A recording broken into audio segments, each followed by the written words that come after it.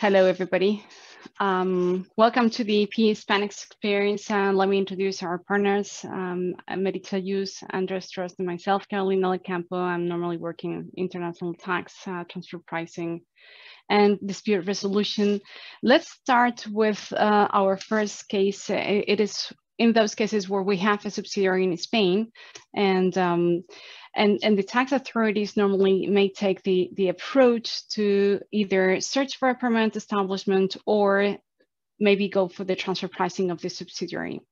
Um, in those cases, normally a Spanish tax authority has traditionally uh, gone through the first path, which means that, uh, and, and, it's based normally on court decisions um, confirming the existence of a permanent establishment either through a fixed place of business or dependent agent, or the new Spanish, what it's been called the Spanish approach, which is uh, they take a look at all the activities performed by the uh, non-resident um, entity, also the activities performed by the subsidiaries, and if adding all the activities that, that are being done. And finally, they can conclude that they are performing the, the core business in Spain, they would have what they call the um, complex operational establishment.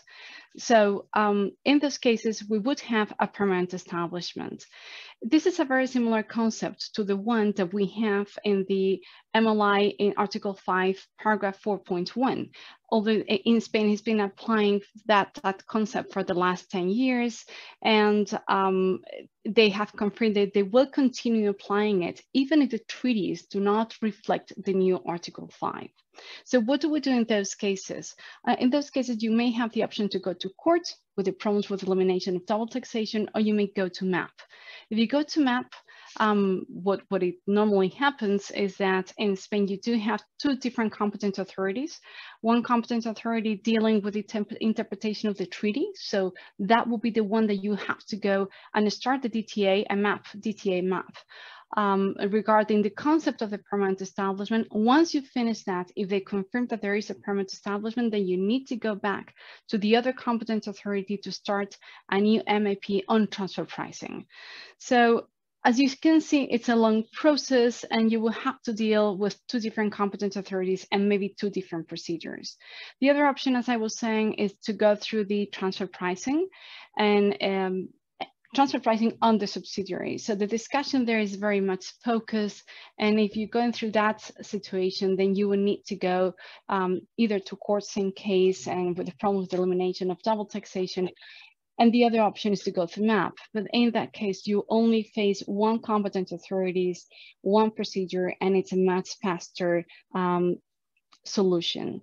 So um, if you're facing that situation where you might uh, see that you may fall within the scope of the definition of permanent establishment, considering what the Spanish approach is, just our advice is try to review it I was thinking trying to avoid the dispute resolution um, situation when you are facing a permanent establishment and the two different procedures. So let's continue maybe with uh, the, the, next the next case, the next experience, Andreas. Okay, thank you, Carolina. Uh, as Carolina mentioned, uh, in Spain, we have been uh, quite early adopters of, say, aggressive theories with, with permanent establishment situations. large multinational groups can tell you stories about this, and we have court cases about this. Um, and this is a question that is also looming for private equity funds. Although the good news here is that uh, those uh, private equity investments are not yet in the focus of, of the Spanish tax authorities.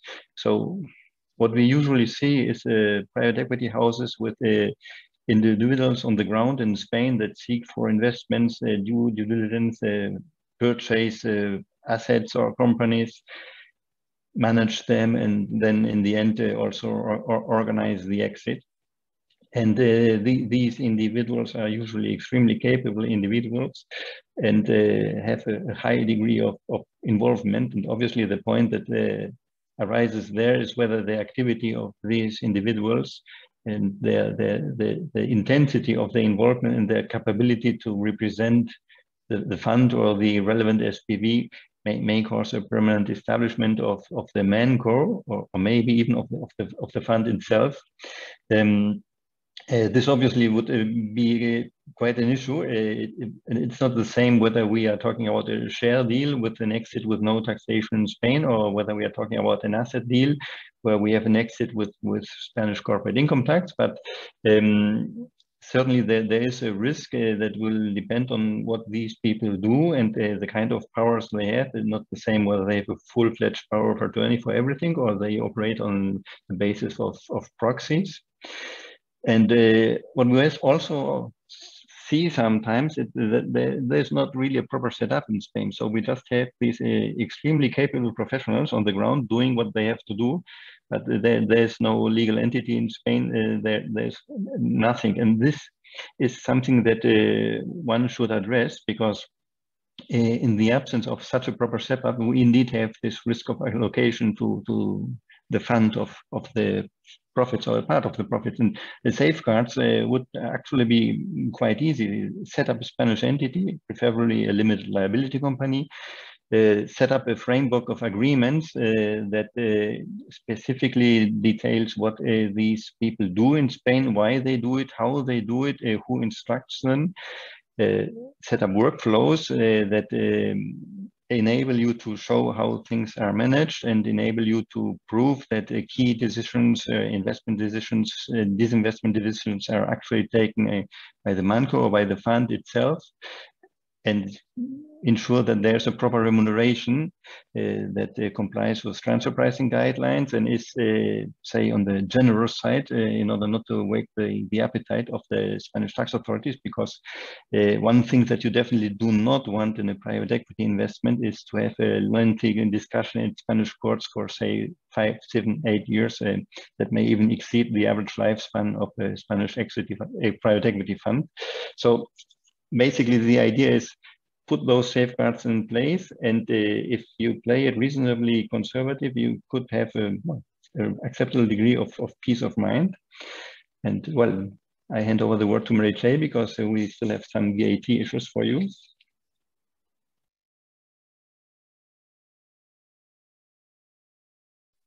Thank you, Andreas. Thank you. I just uh, in the in the our last two minutes, I just wanted to address uh, two, two relevant topics, two practical topics regarding the fixed establishment in Spain. Please note, as you may, may know, that it's not the same exactly concept. The fixed establishment for VAT purposes is not exactly the same concept than permanent establishment.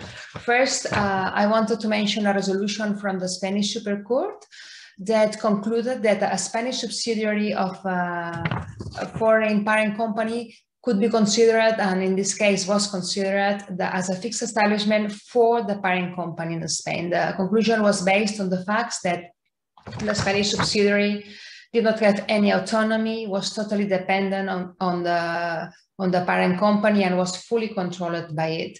Briefly, the effects of this conclusion were uh, that the parent company should have charged VAT, Spanish VAT, in all the transactions carried out in Spain instead of applying the VAT reverse charge rules. So uh, it resulted in a huge debt to the Spanish tax authority for VAT. So be, advice is be careful with these structures and be careful on what is the, how is the subsidiary working in on behalf of the parent company.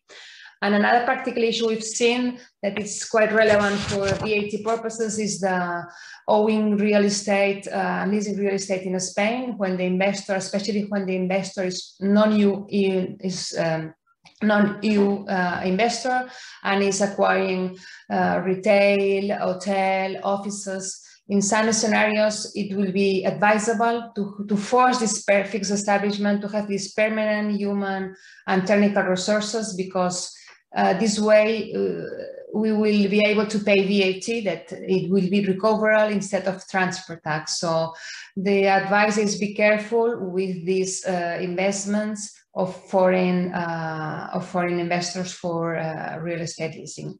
So thank you very much uh, for joining this uh, room. We will be just be placed uh, again to the general uh, main room. Uh, it's very short, but we've tried to do it no practical. So please do not hesitate to contact us if you have any doubt. Thank you and bye-bye.